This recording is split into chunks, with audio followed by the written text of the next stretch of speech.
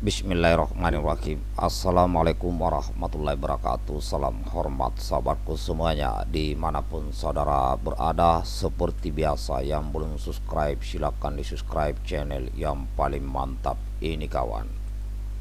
Baik ini ada berita yang kurang mantap Dari nesiatimes.com Dengan judul 20 anggota Polri dipecat secara tidak hormat. Eh kasusnya sungguh memalukan. Nesiatimes.com Sebanyak 28 anggota polisi di Sumatera Utara menerima sanksi pemberhentian tidak dengan hormat atau PTDH. Kapolda Sumatera Utara Irjen Panca Putra Simanjuntak kemudian menyampaikan pesan penting terkait hal tersebut. Dia berharap agar pemecatan terhadap 28 anggota Polri tersebut bisa menjadi pembelajaran bagi personel lainnya. Saya harap keputusan ini dapat menjadi pembelajaran kepada anggota saya semuanya, tutur Kapolda.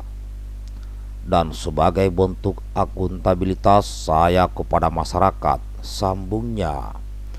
Kapolda menyampaikan hal tersebut saat memberikan sambutan dalam upacara PTDH di, Pamol, di Mapolda Sumatera Utara Rabu 22 Desember 2021. Namun dari 28 personil yang menerima sanksi pemecatan hanya dua orang yang tampak menghadiri upacara PTDH tersebut. Sementara itu, Kapolda menjelaskan pihaknya memecat 28 anggota polisi tersebut setelah terbukti bersalah berdasarkan fakta dan hasil pemeriksaan. Menurutnya, pemecatan terhadap puluhan anggota Polri tersebut lantaran mereka telah melakukan pelanggaran kode etik. Panca menyebut di antaranya mereka semua ada yang terjerat kasus narkoba, disertasi serta pidana umum hingga pencabulan. Demikian saudaraku informasi terkait ya adanya yang dipecat. Nah, ini saya menyebutnya ini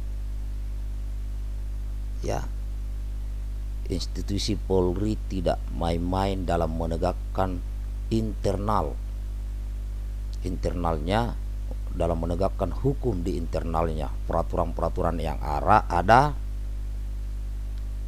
Demi terjaganya citra institusi Polri secara umum. Dan ini bukan hanya berlaku di Polri di TNI juga ada yang seperti ini di PNS pun sama. Ya jika yang melanggar apalagi sudah parah sampai ada pemecatan berarti itu sudah fatal. Itu salah satu cara untuk membuat jerah. Maka di sini kepada rekan-rekan khususnya yang masih aktif sebagai abdi negara baik TNI maupun Polri termasuk PNS ya jangan sekali-sekali bermain narkoba saudaraku. Ini buktinya sudah ada ini masih banyak yang halal. Jika keluarga tidak terikat dalam dinas ya mungkin sebagai ibu rumah tangga ya ajak agar keluarga ini bisa membangun bisnis. Apakah bisnis online bisnis rumahan ya dengan gaji yang ada mungkin sebagian bisa dijadikan modal. Itu lebih bagus sangat saya disayangkan kalau dipecat gara-gara pelanggaran yang fatal. Yang diwanti-wanti ini yang tergiur yang banyak kena ini masalah narkoba. Inilah kalau menurut saya ini adalah penegakan disiplin di tubuh institusi ya demi menegakkan aturan dan secara umum demi untuk menjaga citra institusi jadi sekali lagi bukan ini yang seperti ini bukan hanya di, di Polri, di TNI juga ada, di PNS juga ada. Ya, karena udah fatal. Ya, beberapa waktu lalu saya dihubungi oleh anggota mau disersi saya bilang jangan kalau belum siap hidup hidup di luar institusi TNI Polri sangat sangat keras hidup. Mencari nafkah sangat keras. Apalagi jaringan tidak ada woi berat. Ada beberapa dulu mantan anggota saya minta bergabung kalau bisa bergabung ke peta komandan. Saya bilang di peta ini apa? Ini komunitas. Ini komunitas. Tidak ada gajinya di peta ini tidak ada saya sampaikan.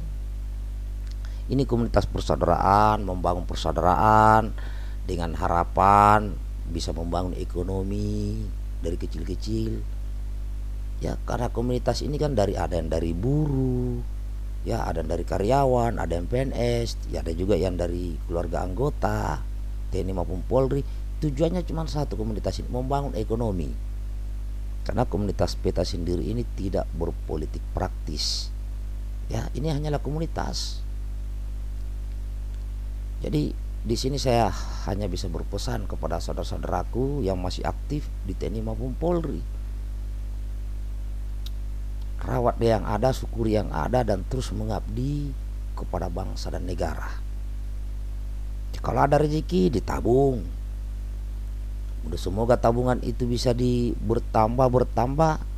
Kalau suaminya yang jadi tentara atau jadi polisi, istrinya tidak ada pekerjaan, ya bukakanlah warung-warung kecil. Baik bisnis begitu atau bisnis-bisnis online lah. Karena istri itu kan tidak mengganggu dinas suami apalagi online sekarang belajar itu teknologi apa IT itu ada itu ya cara bisnis online perbanyak jaringan tetangga di dalam satu asrama saja kalau mereka saling komunikasi baik mereka uh, kemudian komunikasi dengan warga di luar satuan ya baik-baik. Saya yakin banyak banyak itu rezeki makanya jangan kaget. Kalau ada sebagian kecil ya personil TNI maupun Polri atau PNS yang mungkin memiliki eh, finansial yang lebih ya karena rezeki itu asalnya dari Allah. Asalnya dari Tuhan tidak bisa karena semua orang diberikan jalan yang sama kesempatan yang sama. Tidak berarti bahwa kalau jadi tentara jadi polisi itu tidak boleh tidak bisa jadi orang kaya. Ini pemahaman yang salah. Karena Tuhan itu tidak mau melihat, tidak perlu tahu mau tentara, mau polisi, mau PNS, mau pemulung, mau pengusaha, mau rakyat jelata. Kalau Tuhan berkehendak kamu saya berikan titipkan kekayaan yang lebih, tidak bisa dihindari dengan berbagai cara. Nah itu, maka di sini tuh saya di sini punya uh, prinsip banyak teman, banyak saudara, banyak kawan juga saya yakin rezeki juga akan mengikutinya. Nah, ini kawan ya sayang ya ada uh, anggota seperti ini. Tapi ya apa pun yang terjadi ya sudah terjadi. Semoga setelah sudah tidak aktif lagi ya masih bisa membangun komunikasi dengan rekan-rekan Polri yang masih aktif. Ya saling bahu membahu, saling membantu dan semoga bisa membangun ekonomi sejak di luar institusi. Nah, itu itu harapan kepada saudara-saudaraku yang ingin memberikan pesan di channel saya ini tolong hindari ya kalimat-kalimat yang bersifat uh, kebencian ya eh, hinaan cacian merendahkan maupun meremehkan tolong hindari kawan ya, ya.